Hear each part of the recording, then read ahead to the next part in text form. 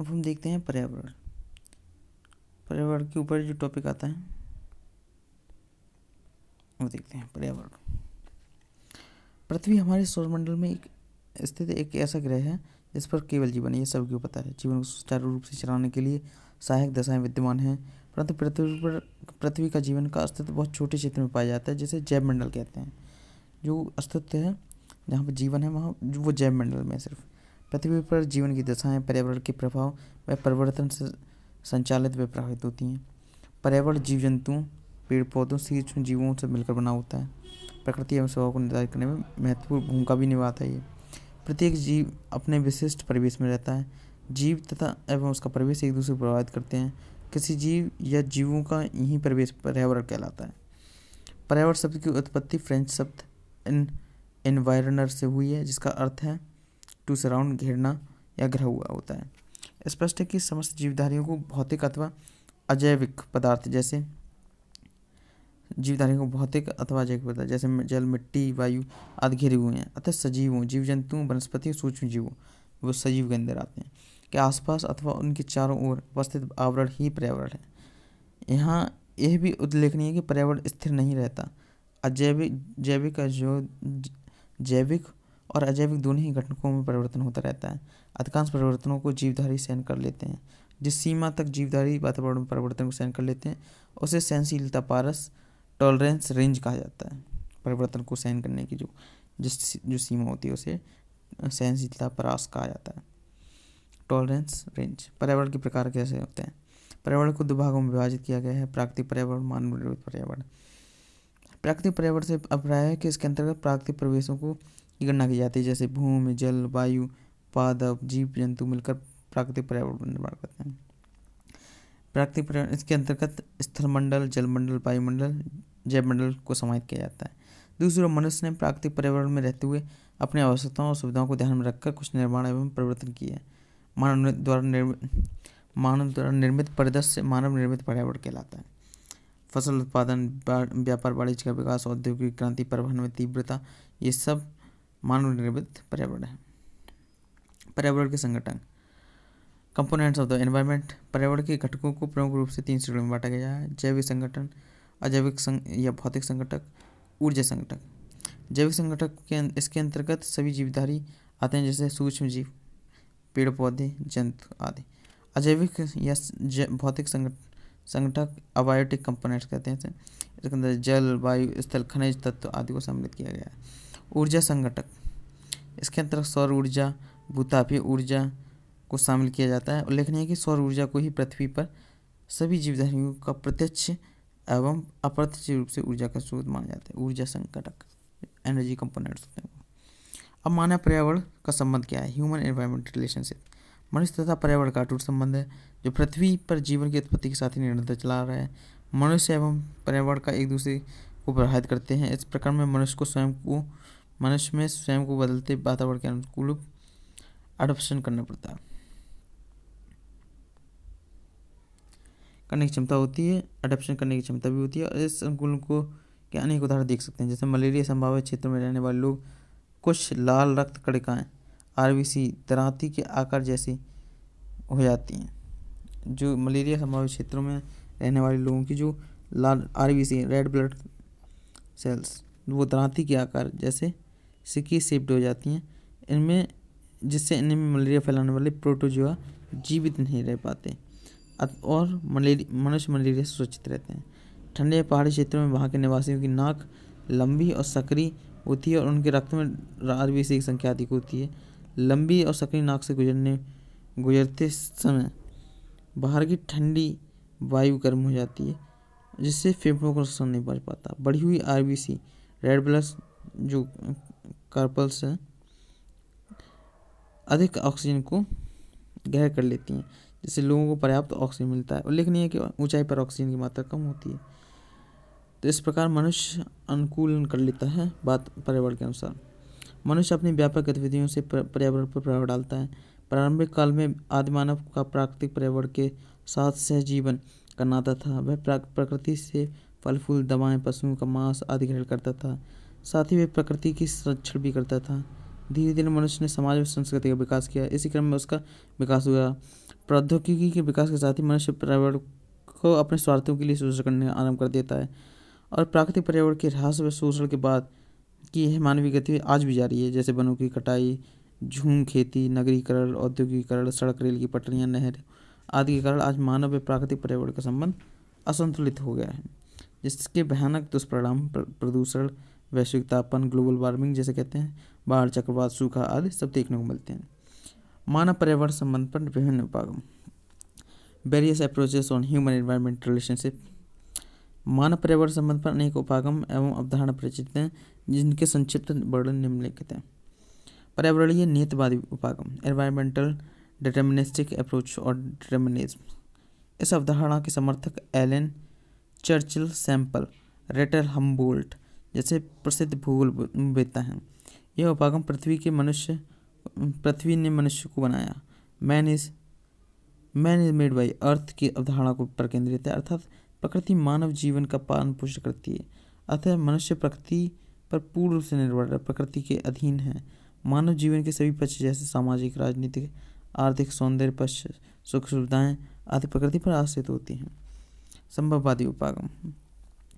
पॉसिबिलिस्टिक approach और possibilism यह उपागम नियतवादी उपागम के प्रतिक्रिया स्वरूप उत्पन्न हुआ है। इसके प्रतिपादक Paul Vidal de la Blache Carl Sauer Isaiah Bowman Jean Brunhes आदि भूगोलविद थे।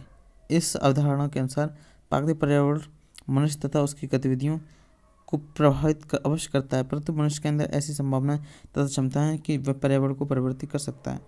तथा उसे अपने तथा समाज के अनुकूल बना सकता है। यह परिवर्तन प्रौद्योगिकी पूजा तथा इच्छा शक्ति के द्वारा किया जा सकता है। नवनियतवादी उपागम।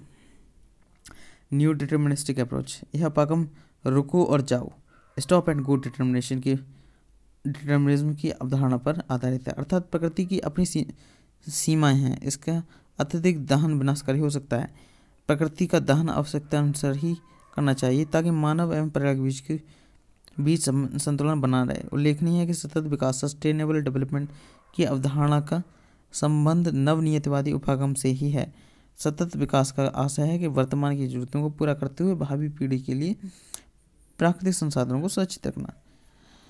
अब आता है पारिस्थितिकी उपागम इकोलॉजिकल अप्रोच इस उपागम के अनुसार मनुष्य पारिस्थितिकी का एक घटक कंपोनेंट है। और लिखने की पारिस्थितिकी जीवधारियों के मध्य एवं तथा उसके वातावरण के साथ संबंध की का अध्ययन है। इस उपागम के अनुसार मनुष्य प्रकृति का अभिन्न अंग है और मनुष्य तथा प्रकृति में सहजीवन सिम्बोसिस का संबंध होना चाहिए। पर्यावरण पर मानव के प्रभाव ह्यूमन इन्फ्लुएंस ऑन एनवायरनमेंट पर्यावरण अवक्रमण एनवायरमेंटल डिग्रेडेशन जनसंख्या जनसंख्या में तीव्र वृद्धि द्वारा प्राकृतिक संसाधनों का अत्यधिक उपभोग हो रहा है, तीव्र दोहन हो रहा है, जिसका परिणाम मृदा निम्नीकरण जीव विविधता में कमी, वायु, जल स्रोतों में प्रदूषण आदि के रूप में दिखाई दे रहा है। अत्यधिक दोहन के कारण पर्यावरण का क्षरण हो रहा है तथा मानव जाति और उसके उत्तर जीविता के लिए खात्मा उत्पन्न कर रहा है। पर्यावरण अवक्रमण विशेषकर निर्धन ग्रामीणों में गरीबों को, गरीबियों की बढ़ावा देने वाला प्रमुख कारण बन गया है। प्राकृतिक संसाधनों जैसे विशेष, विशेषकर जैव विविधता पर ग्रामीण निर्धनों में आदिवासियों की निर्भरता स्वतः सिद्ध है। यदि देखा जाए तो महिलाओं पर, इन प्राकृतिक संसाधनों के अवकरण पर बुरा प्रभाव पड़ा है, क्योंकि इन संसाधनों को एकत्र करने तथा उपयोग करने के लिए सीधे रूप से वो उत्तरदायी होती हैं। कुछ मानवीय क्रियाकलापों जैसे वनोन्मूलन अन्य अनवीकरण ऊर्जा के अत्यधिक प्रयोग से पर्यावरण अवक्रमण की समस्या को बढ़ावा दिया है, क्योंकि वन पर्यावरण संतुलन के महत्वपूर्ण तत्व हैं। पेड़ों व वनों की कटाई के कारण उन क्षेत्रों में वर्षा की कमी हो गई है, अतः मृदा अपर्दन तीव्र हो गया है। अनवीकरणीय ऊर्जा के अत्यधिक उपयोग से पर्यावरण प्रदूषण की गंभीर समस्या उत्पन्न हो गई है। जैसे कोयला, लकड़ी, पेट्रोल आदि की अत्यधिक मात्रा से उपयोग से बिजली गैसें जैसे S O two N two C O two आदि वायु में मिल मिल जाती हैं। ये गैसें विद्युत संयंत्र, मोटर गाड़ी या उद्योगों से निकलती हैं और वायु को प्रदूषित कर देती हैं, जिससे मानव स्वास्थ्य पौधों पर दुष्प्रभाव पड़ता है और बढ़ती जनसंख्या के लिए स्थान, आश्रय उपयोगी वस्तुओं की आवश्यकता के कारण पर्यावरण पर अत्यधिक दबाव पड़ रहा है और इन सभी वस्तुओं की उपलब्ध कराने के लिए नाटकीय तरीके से भूमि का प्रयोग बदल रहा है। अत्यधिक मात्रा में खाद्य पदार्थों के उत्पादन के लिए बिना वनों को काटा जा रहा है। इसके अलावा आधारभूत संरचना के विकास ने भी वनोन्मूलन में वृद्धि की है। तीव्र गति से होने वाले औद्योगिकरण के कारण ही भी पर्यावरण पर दुष्परिणाम पड़ रहा है। वनोन्मूलन के कारण पर्यावरण भूस्खलन गाद का जमाव वन्य पर्यावरण की में क्षति हो रही है, जिसके परिणाम स्वरूप आज वन्य जीवों के जो संकटा, संकटापन की स्थिति उत्पन्न हो रही है, तथा कई वन्य जीव प्राणी आज विलुप्त हो गए हैं। विलुप्त होने के कार्य पे हैं और विलुप्त हो गए हैं। उद्योगों से निकलने वाले कार्बन डाइऑक्साइड का कुछ भाग पेड़ पौधों तथा वन अवशोषित कर लेते हैं, किंतु वनोन्मूलन के कारण सी ओ टू सिंक कम हो जाता है और सी ओ टू पर्यावरण में एकत्र हो जाता है, जिसके कारण तापमान में वृद्धि होती है। पर्यावरण अवक्रमण के स्रोत। पर्यावरण अवक्रमण पर्यावरण से उत्पन्न असंतुलन का परिणाम है, जो मानवीय या प्राकृतिक गतिविधियों के कारण होता है। और पर्यावरण या किसी निश्चित क्षेत्र की परिस्थिति में यदि प्राकृतिक कारणों से असंतुलन होता है तो वह स्वतः उस असंतुलन को नियंत्रित कर लेता है। जब किंतु जब सीमा के बाद मानवीय हस्तक्षेपों द्वारा पर्यावरण अवक्रमण होता है तो पर्यावरण उसे स्वतः नियंत्रित नहीं कर पाता, पर्यावरण अपकरण की समस्या उत्पन्न होती है। इससे ऐसी इससे ऐसी गतिविधियाँ जिनका प्रभाव पर्यावरण पर पड़ता है, उनमें शामिल है खनन औद्योगिकरण आधुनिक कृषि, शहरीकरण, आधुनिक प्रौद्योगिकी। खनन द्वारा पर्यावरण प्रभाव। पृथ्वी, धातुओं खनिज संसाधन बढ़ ये बेहद ही महत्वपूर्ण है। अनवीकरणीय प्राकृतिक संसाधन है। प्रौद्योगिकी के विकास में प्रक्रियाओं खनन तकनीक को सुदृढ़ किया गया जिससे संसाधनों का रूपांतर तेज़ी से खनन में किया जा रहा है। अब इन संसाधनों को समाप्त होने की आशंका वैज्ञानिकों व विश्लेषकों द्वारा व्यक्त की जा रही है। खनिज, पृथ्वी के खनिजों के निष्कर्ष के दौरान बड़ी मात्रा में कूड़े का ढेर उत्पन्न होता है। खनिज अपशिष्टों के ढेर से भूमि का बड़ा भाग गिर जाता है, जो कृषि कार्यों के लिए भी अयोग्य होता है। खनन क्षेत्र अधिकांशतः दुर्गम या वनीय क्षेत्रों में होते हैं, जिनसे वनोन्मूलन की समस्या भी उत्पन्न होती है। औद्योगिकरण का पर्यावरण प्रभाव तीव्र गति से जनसंख्या की बढ़ती जरूरतों का पूरा करने के लिए आवश्यक वस्तुओं का निर्माण किया जाता है। औद्योगिकरण की प्रक्रिया वृद्धि इन वस्तुओं के निर्माण का परिणाम है। औद्योगिकरण की प्रक्रिया का, का पर्यावरण पर इसलिए प्रभाव देखना ज़रूरी है क्योंकि कच्चे माल के रूप में उद्योग प्राकृतिक संसाधनों का उपयोग करते हैं जिनके शीघ्र समाप्त हो जाने का खतरा है। उद्योगों में बहुत सारी विषैली गैसें उत्पन्न होती हैं जो वायु प्रदूषण में वृद्धि करती हैं। उद्योगों से निकलने वाले अपशिष्ट से जल प्रदूषण के साथ मृदा प्रदूषण की समस्या भी उत्पन्न होती है। ये मानव तथा जलीय वातावरण पर प्रतिकूल प्रभाव डालते हैं। उद्योग में उद्योग में ऊर्जा स्रोत के रूप में जीवाश्म ईंधनों का प्रयोग किया जाता है, जिन, जिसके जलने से वायुमंडल में सी का उत्सर्जन होता है, जिस कारण उंडले तापन में की वृद्धि भी समस्या की समस्या में वृद्धि हो रही है। आधुनिक कृषि का पर्यावरण पर प्रभाव। जनसंख्या में तीव्र वृद्धि ने कृषि उत्पादों की मांग में वृद्धि की है। इससे अधिक से अधिक फ़सलों को उगाने के लिए वनों को खेती के उपयुक्त भूमि में बदला जा रहा है। यह समस्या विशेषतः जनजातीय क्षेत्रों में देखी जा रही है, जहाँ की झूम खेती विश्व के विभिन्न जनजाति में पिछड़े क्षेत्रों में प्रचलित है। खाद्यान्न उत्पादन की वृद्धि के लिए शुरू की गई हरित क्रांति ने कृषि में और कृषि कृत्रिम उपकरणों के प्रयोग को बढ़ावा दिया। कृत्रिम उर्वरकों के अत्यधिक उपयोग के कारण पर्यावरणीय समस्या पैदा हो रही है। कृषि में उपयोग किए जाने वाले उर्वरकों को वर्षा जल, सिंचित जल अपने साथ झीलों व नदियों तक ले जाता जाता है, जिस कारण जल प्रदूषण भी उत्पन्न हो रहा है। अत्यधिक वर्षा में पोषक तत्वों की वृद्धि होना जल स्रोतों में सुपोषण को बढ़ावा देता है, जिससे जलीय क्षेत्रों में हरे शैवाल में अत्यधिक वृद्धि होती है। व जलीय जीवों पर संकट उत्पन्न होता है। कृषि में कीटनाशकों को बढ़ता प्रयोग है। वहीं कीटों के भाग में कीट कीटों के साथ पे कीट भी मर जाते हैं, जो कृषि के लिए परागण की प्रक्रिया के लिए उपयोगी होते हैं। कीटनाशकों की मात्रा में वृद्धि श्रृंखला को भी प्रभावित करती है और कीटनाशकों का अत्यधिक प्रयोग खाद्य पदार्थों को खाने योग्य भी नहीं रहने देता। कृषि में बढ़ता बाजारीकरण उच्च उत्पाद देने वाली किस्मों के किस्मों के उत्पादन को बढ़ावा देता है, जिससे जिससे उच्च उत्पाद देने वाली फ़सलें, पारंपरिक फ़सलों वाली कृषि का स्थान ले लेती हैं, पारंपरिक फ़सलें। बहुफसली पद्धति पर आधारित होने के कारण फ़सल चक्रण के नियमों का पालन नहीं करती, जिससे मृदा में पोषक तत्व की कमी नहीं होती थी। किंतु उच्च उत्पाद वाली फ़सलें एकल कृषि को बढ़ावा देती हैं, जो लंबे समय तक मृदा में पोषक तत्व में कमी लाती हैं, जिससे उत्पादन व उत्पादकता प्रभावित होती है। शहरीकरण का पर्यावरण प्रभाव। बढ़ता शहरीकरण विभिन्न पर्यावरणीय समस्याओं को जन्म देता है, क्योंकि शहर अपनी मूलभूत सुविधाओं के कारण जनसंख्या के आकर्षण केंद्र बने हुए हैं, जैसे शहरों में बढ़ती जनसंख्या के कारण स्थानीय संसाधनों पर गहरा दबाव पड़ रहा है। पड़ता है, जिससे नित्य नई समस्याओं का जन्म होता है, जैसे शहरों में लोगों के निवास, उद्योगों की स्थापना, सड़क व सुविधाओं की उपजाऊ बनाना, जैसे भी ये स्थापित उद्योग शहरों में आज प्रदूषण के बड़े स्रोत हैं। शहरों में परिवहन के साधनों, बस, कार, ट्रक आदि से निकलने वाला धुआँ, वायु प्रदूषण का बड़ा कारण है। परंतु औद्योगिक बहिष्रावों को बिना किसी निपटान के सीधे नाली नदियों में फेंक डाला जाता है, जिससे नगरों के समयवर्ती झील व नदियों का पीने पानी पानी पीने योग्य नहीं रह जाता और इनमें मानव के साथ साथ जलीय जीवों के अस्तित्व का भी संकट उत्पन्न हो जाता है।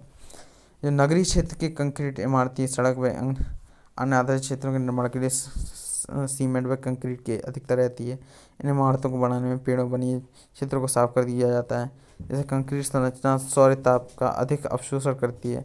नगरीय क्षेत्रों में प्रदूषण के कारण नगरीय भूकंप, धूप, कोहरे के निर्माण में नगरीय क्षेत्र का तापमान आसपास के क्षेत्र से पाँच डिग्री से आठ डिग्री तक अधिक होता है तथा नगर उष्मा द्वीप के रूप में कार्य करने लगता है।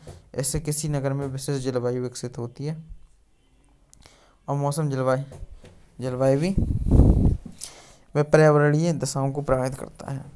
आधुनिक पर्यावरण, आधुनिक प्रौद्योगिकी का पर्यावरण पर प्रभाव।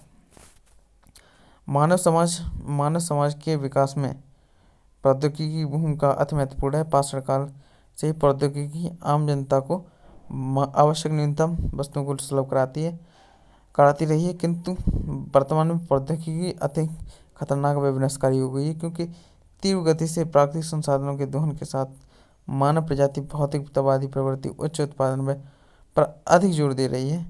आज जीवन के प्रत्येक क्षेत्र में, जिसे निजी से लेकर कृषि, विज्ञान परिवहन उद्योग, तकनीक का व्यापक उपयोग हो रहा है, निश्चित तौर पर तकनीक ने मानव जीवन को महत्वपूर्ण रूप से प्रभावित किया किंतु ये भी सत्य है, जो आधुनिक प्रौद्योगिकी ने अधिकांश पर्यावरणीय समस्याओं को भी जन्म दिया निम्नलिखित तथ्य आधुनिक प्रौद्योगिकी के अवसर को स्पष्ट करते हैं।